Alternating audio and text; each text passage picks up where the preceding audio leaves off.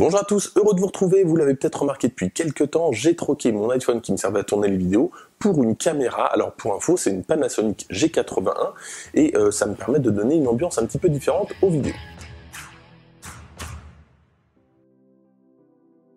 Et puis en même temps, j'ai dû changer de microphone, puisque vous le savez peut-être, mais la norme jack pour les iPhones, c'est du TRRS, euh, et sur les Panasonic, c'est du TRS, c'est pas la même chose, et donc j'ai dû me racheter un microphone. Alors comme le micro intégré n'est pas vraiment bon, j'ai dû acheter un micro Canon de marque Rode, que je mettais sur la caméra, mais là encore c'était pas terrible, parce que c'était un petit peu trop loin, donc j'ai dû le rapprocher, racheter un trépied, puis un câble euh, compatible, puisque tous les câbles ne fonctionnent pas, c'est ce que je vous disais tout à l'heure avec la norme TRS et TRRS, et euh, bah là j'avais un résultat, mais c'était pas encore ça. Il fallait que j'améliore un petit peu les basses avec euh, le logiciel de montage, mais globalement, là, on s'en sortait. Le seul inconvénient, c'est que je pouvais pas bouger beaucoup et j'avais donc euh, le micro qui était juste au-dessus de ma tête. Alors pourquoi je vous parle de ça? Tout simplement parce qu'au même moment, il y a une société chinoise qui m'a contacté pour tester un micro cravate. Donc c'est ce que j'ai fait. Ça s'appelle Kimafun et je vais vous en parler dans cette vidéo. Alors malheureusement, en audio, il n'y a pas de miracle. Euh, là, on est quand même sur un ensemble d'accessoires à moins de 50 euros, sachant que mon micro euh, Rode tout simple coûte 100 euros. Forcément, faut pas vous attendre à une qualité euh, identique. Néanmoins, pour 50 euros, on a quand même un ensemble plutôt correct. Notamment, c'est pas mal pour débuter sur YouTube. Allez, c'est parti, on va voir ce que contient donc cette fameuse boîte. Alors pour information, ici je suis sur un micro Rode et on testera évidemment tout à l'heure l'un des deux micros de Kimaphone, mais c'est euh, il, y en a deux, c'est la même qualité. Alors justement, le premier micro, donc voilà à quoi il ressemble, c'est un micro cravate filaire de 1 mètre. Alors évidemment, on est sur du mini jack.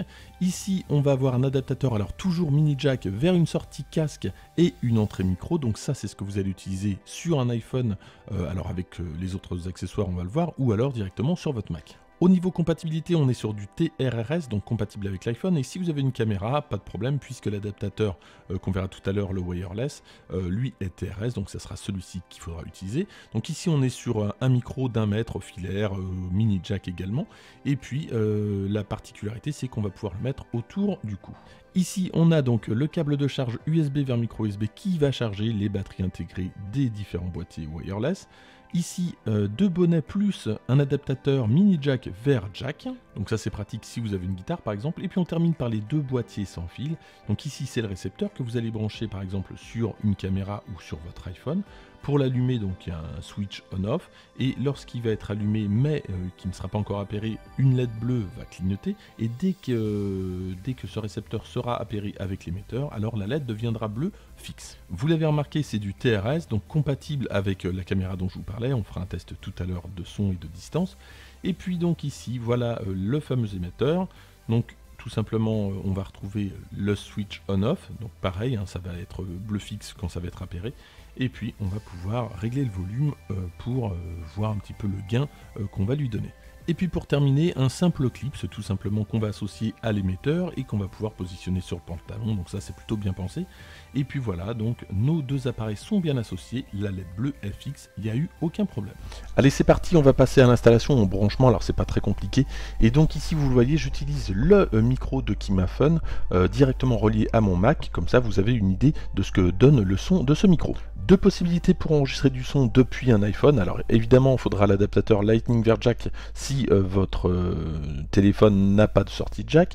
Et ici, j'ai branché sur euh, donc cet adaptateur tout simplement un autre adaptateur qui permet de brancher et un micro et un casque. Donc c'est parti, je lance l'enregistrement. Le câble noir, c'est pour le micro. Voilà, donc ça répond bien. Et puis le câble bleu, c'est pour le casque, c'est pour avoir un retour. Branchez bien cet appareil, sinon vous n'allez pas avoir un bon son. Euh, si vous le branchez directement sur le câble jack, euh, les deux canaux ne sont pas euh, utilisés. Donc ça c'était pour la partie iPhone avec donc le micro avec fil. Donc c'est du compatible TRRS, donc ça marche directement sur l'iPhone. Et puis on va tester justement donc avec l'adaptateur, donc le TRS, mais il y a un convertisseur. Et donc là on va être sans fil. Donc je branche mon émetteur. Voilà, juste ici, j'ai branché le récepteur directement. Donc là je suis en sans fil et il n'y a plus qu'à tester. Voilà, donc je lance l'enregistrement du dictaphone, donc ça répond bien, ça marche bien, et c'est vrai que globalement j'ai pas eu de problème particulier, après c'est juste la qualité du son bah, qui est pas à la hauteur du Rode, mais sachez que le Rode coûte 100 euros, euh, et ici j'ai un ensemble d'accessoires pour 50 euros, donc forcément je vous disais, il n'y a pas de miracle. Autre test, donc là le son est un petit peu plus lointain puisque je suis en micro-cravate. Euh, sachez que j'utilise l'iMac et euh, du sans fil. Donc voilà la qualité du son. Et là, autre test, donc là je suis sur un ROD, toujours sur l'iMac et toujours en sans fil, euh, il y a quand même une différence. Donc globalement j'ai l'impression que la partie sans fil fonctionne plutôt bien, ce sont les deux micros qui ne sont pas d'une grande qualité j'ai l'impression, alors rien ne vous empêche après de les changer, mais évidemment ce sont des frais supplémentaires. Concernant l'iMac, il n'y a pas grand chose à faire, on branche donc l'adaptateur directement sur l'entrée jack du Mac, et puis donc vous allez avoir la partie casque et la partie fil, alors ici euh, le boîtier sans fil, mais tout fonctionne très simplement et il n'y a rien à installer. Allez c'est parti, petit test à l'extérieur, donc en intérieur on à 10-15 mètres, un petit peu plus pour l'extérieur. Donc voilà, donc là je suis à peu près une vingtaine de mètres.